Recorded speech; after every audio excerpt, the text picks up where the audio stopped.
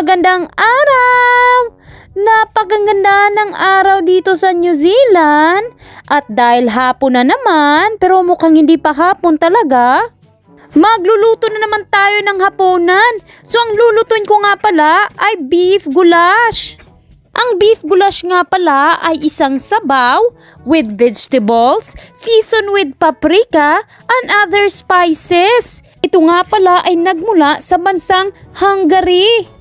At ito ang isa sa national dishes nila. Kinakain ng mga tao sa Europe, pati na rin sa Australia at New Zealand. So, napakasimple lang itong gawin. Maghihiwa muna ako ng mga vegetable at mga sangkap. Gagamit nga pala tayo ng carrots, patatas, parsley at sibuyas at bawang. So hihiwain lang natin ito ng patatas ng pa-square-square. Dalawang patatas lang naman ang aking gagamitin. Ayoko kasi ng maraming patatas. At ito na, naghihiwa na rin ako ng fresh parsley. Galing ito sa garden. Maghihiwa din ako ng karne ng baka. So ang ginamit ko nga pala ay ram steak. Alam nyo, yung karne ng baka, merong iba-ibang tawag niyan. Depende kung saang parte ng katawan ng baka. Merong chuck, plate, rib, loin, at brisket at iba-iba pa. So unang-unang ginawa ko is pinilito ko muna yung ating karni ng baka. Hindi naman masyadong lutong-luto, i-ano lang natin, i-brown lang natin ito pagkatapos ilalagay natin to sa kabilang plato. Kung nalala nyo, gumawa din ako before ng beef stew. Parang kapatid lang ito, ang beef goulash. Pagkatapos maprito yung ating karning baka, ay igigisa ko ng ating sibuyas at saka bawang. So igigisahin ko lang hanggang sa maluto yung spices at ilalagay ko na rin, igigisa ko na rin ng ating carrots. Pagkatapos ay ilalagay ko rin ang ating patatas. Sisison lang natin ito with salt at of course pepper. So kailangan natin isison ito kunting-kunti lang naman. Para naman maglasa talaga yung ating beef goulash. Maglalagay din ako ng oregano at ang ating fresh parsley. So ayan, napaka-greeny no. Hindi ko alam, marami pala tong use gamit yung ating herbs na tinatawag na parsley. Ilalagay ko na rin yung ating karning baka na prenito kanina. Maglalagay din ako ng tomato paste. Ayan yung pampalapot ng ating sabaw. Maglalagay din ako ng beef stock. So ayan. Kasi alam nyo, sabaw to, so kailangan talaga may pangpalasan. Gagamitin ako ng Maggi seasoning consist of paprika, garlic, onion, at iba't ibang spices.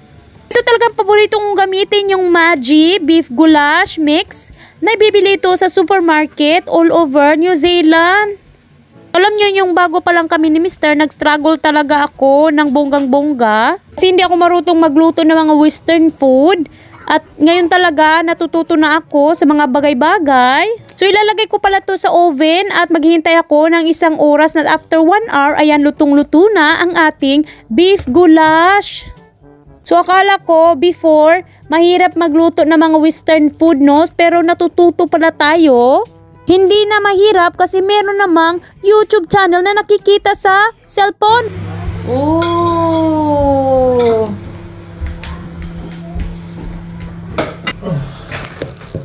McPherson! Ayana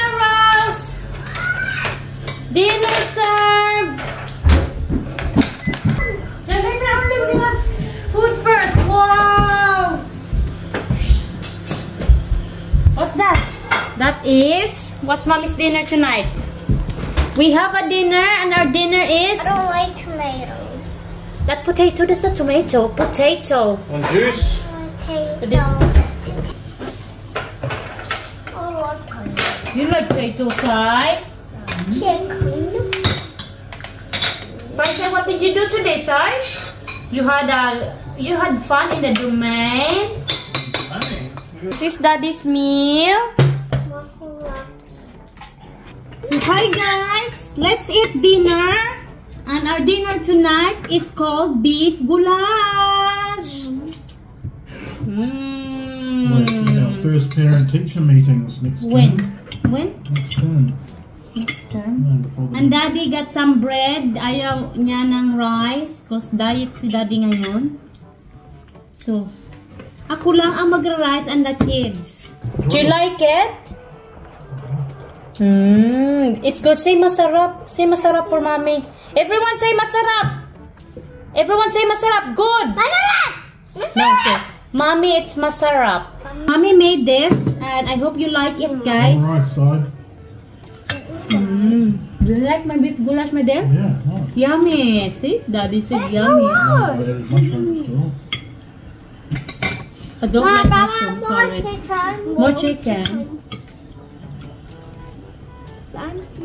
Just um slice it with your. Jana, tell me about your day. Mm. I have a special one with hot dog and, and Was it hot dog and bread or hot dog on a stick? bread. And bread. Did you have tomato sauce in it? Yeah, it's so And good. drink What flavour and ice cream block did you have? what? What flavour? Like- Orange juice or No, what? oh, um, I'm pink. Pink. No, I mean I'm orange. No, I mean I want more chicken. Brown. Because because we're eating. Dad.